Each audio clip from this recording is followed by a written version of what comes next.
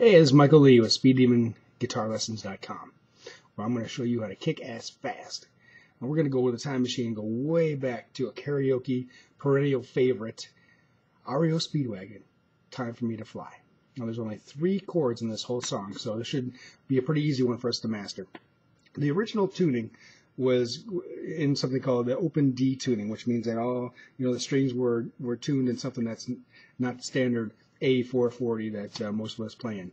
We're not going to mess with that. We're just going to go straight forward so that you can uh, master this thing and do your own you know in-house karaoke or play it out or whatever by by tonight. Three chords: D, A, and G. That's it. Could be any simpler. Now let's start it out. D chord. I'm going to put your second finger on the second fret of the third string.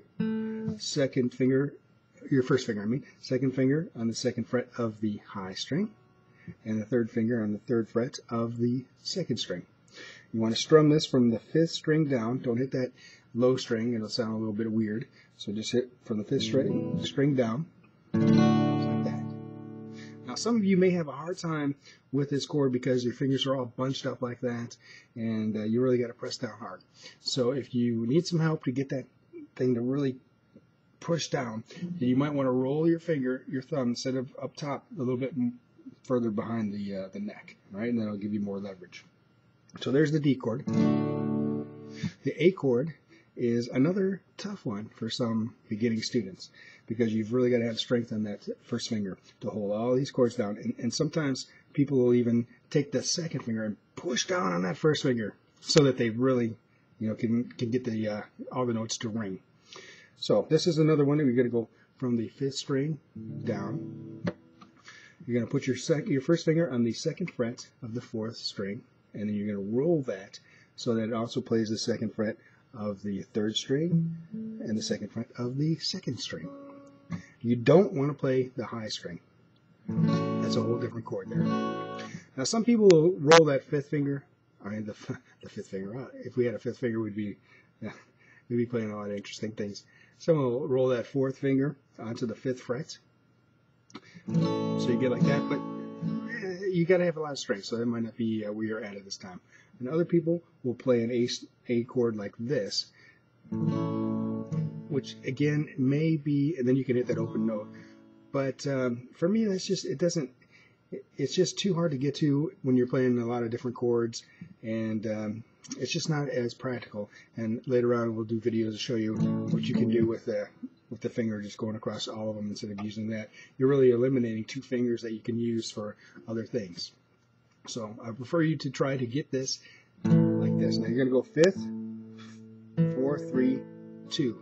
I mean, you can even go just the fifth and the fourth string and be fine with it.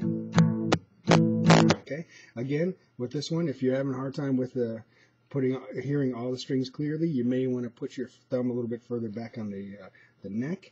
And like I said before, some people even push down with the second finger on the first finger, really grip in there. And then the third chord is the G chord. Now, some people play the G chord like this, but I prefer to play it like this, using that third finger on the third fret of the second string. I think it just sounds uh, a lot more open, a lot, a lot fuller, and plus it also allows you to transition from the D to the G and back, which is a very popular transitional chord sequence. Whew, say that 5,000 times. All right, G chord. Second finger on the third fret. First finger on the second fret. Playing it in my way. Third finger on the third fret of the second string. And pinky on the third fret of the high string. That's the whole song. Just moving those chords in different ways. Now, I'm going to get you a little secret here. Something that's going to open it up and make it sound even cooler. Now, take this D position, this D pattern right here and you're going to really concentrate on the third finger. The third finger is your main, uh, what we call the root note of this chord.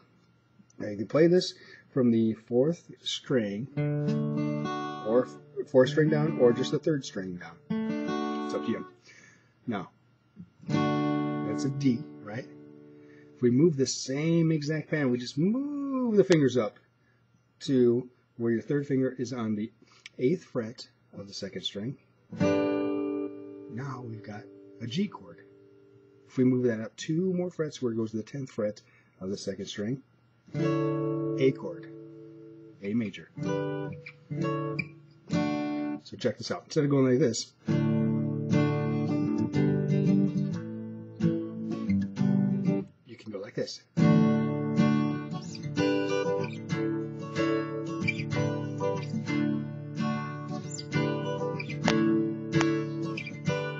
For the intro. I mean, it sounds cool, right?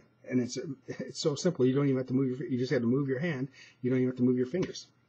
So, okay, so there's the intro. I just did it. G, G, I mean, I'm sorry, D, G, A,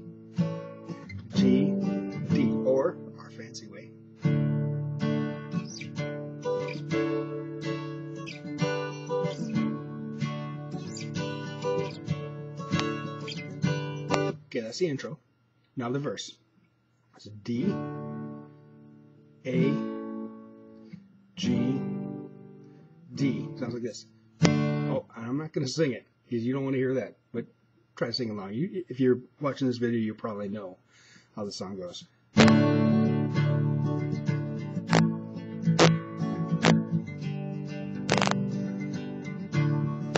Uh-oh, little fancy time.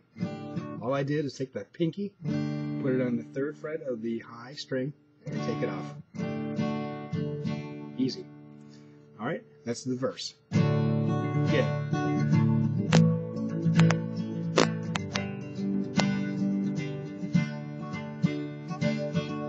Okay, now there's the, um, I guess you call it a pre-chorus.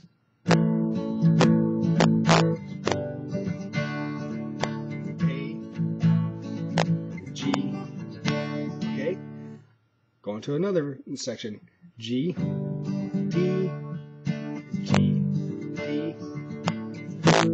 Now, I believe it's time for me to fly.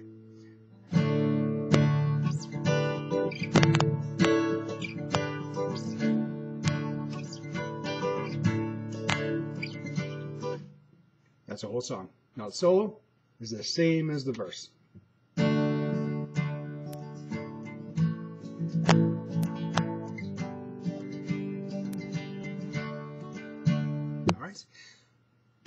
Easy. You'll be singing in no time. Time for me to fly. Now, if you want to rev up your playing a little bit more, go down to the link below and uh, check out our rapid playing method for guitar, our RPM for guitar, and uh, I'll see you next time.